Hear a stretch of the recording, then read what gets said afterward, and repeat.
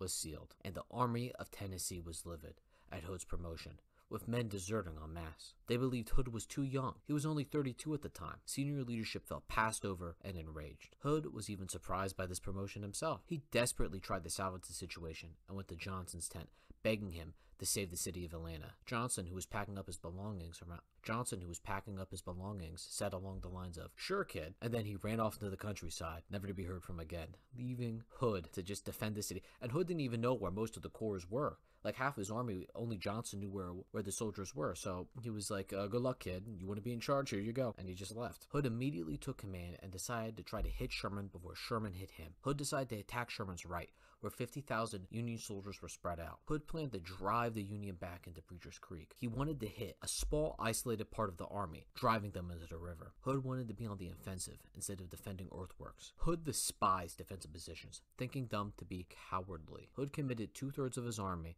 and attacked in force, but the battle failed. Orders got mixed up, and the attack launched several hours later than it should have. General Thomas, aka the Rock of Chickamauga, was able to hold Hood back, who attacked five separate times to no avail. The only thing the Battle of Preachers Creek accomplished was making Sherman tighten his lines.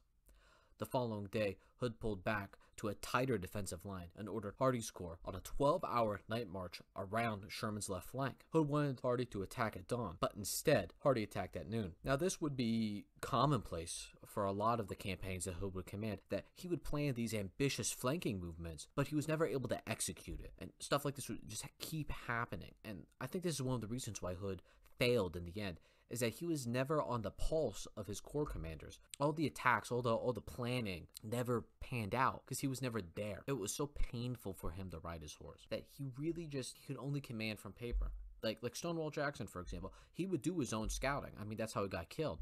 But every time he did a, a, want to execute a plan, he would be in the vicinity, and Hood never was. The attack almost worked though with Hardee's corps, but Sherman's men again held the field firing from defensive works and using artillery as cover, devastating the assaulting Confederates, who took some ground on fortifications but were inevitably thrown back.